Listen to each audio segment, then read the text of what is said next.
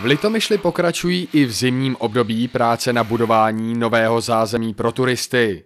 Po rekonstrukci části historické budovy Staré radnice v centru města na Smetanově náměstí vznikne ve vnitřním traktu klidová zóna a hlavně pak tolik potřebné nové sociální zařízení. To původní přímo v přízemí radniční věže přece jen už neodpovídá dnešním standardům. Především jde o obnovu velké části historické budovy v samém jádru eh, Smetanova náměstí a historickém jádru města Litomyšl, z čehož máme samozřejmě pochopitelně velkou radost. Eh, Litomyšl potřebuje nové, kvalitnější eh, sociální zázemí, takže budou tam toalety i pro vozíčkáře.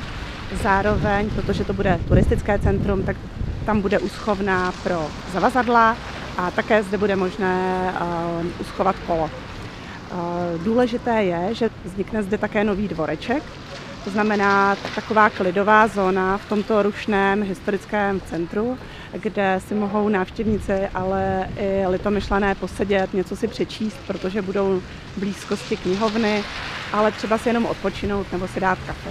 Vše by mělo být hotovo do léta letošního roku, tedy do nástupu hlavní turistické sezóny. Město Litomyšl do projektu vkládá přes 2 miliony korun. Stejnou částkou přispěje Ministerstvo pro místní rozvoj. Takže není e, úplně přesné to tvrzení, že se za několik milionů opraví e, záchody pouze a že to je ono. Ne, ne, určitě ne. E, my si tím dokonce, tím, že záchody vymístíme trošku do zadních částí toho domu, uvolníme tu přední část a do budoucna musí rada města rozhodnout, co dál tímto objektem, protože tohle bude jenom první část rekonstrukce, není to obnova celého toho domu. Eh, představujeme si například, že by se třeba do těch eh, spodních prostor mohlo do budoucna přestěhovat informační centrum, protože jsme uprostřed historického Smetanova náměstí, eh, jsme blíž zámku, mělo by to vazbu třeba právě i na tu úschovnu kol a zavazadel.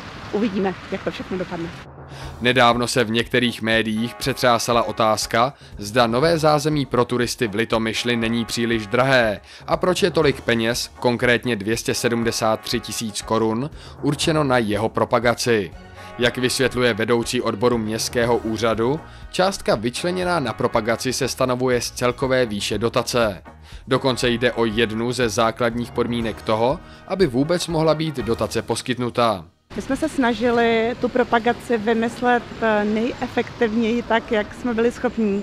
A v, do, v žádosti o poskytnutí dotace jsme například eh, měli takový záměr, že bychom odprezentovali eh, toto nové zázemí turistické na těch dvou nejdůležitějších akcích, které se tady konají, to znamená na zahájení lázeňské sezóny a na gastronomických slavnostech. Měli jsme vymyšlený uh, různé kulturní akce, například recesistický běh z kufry nebo závody pro děti na kolech, aby jsme upozornili na úschovnu kol, ale bohužel Ministerstvo pro místní rozvoj nám tento druh propagace nedovolilo, proto zůstaneme u tradičních letáků, plagátů, online propagaci, tištěných uh, inzerátek a Přiznám se, že nás napadaly i takové legrační záležitosti, abychom udělali letáček a každou desátou návštěvu toalet zdali zdarma abychom upozornili na to, jak je to absurdní přikázání toho ministerstva, protože já si myslím, že ten, kdo vymyslel ty procenta na propagaci, to myslel vlastně dobře že je v pořádku, když se nové turisticky zajímavé záležitosti prezentují veřejnosti.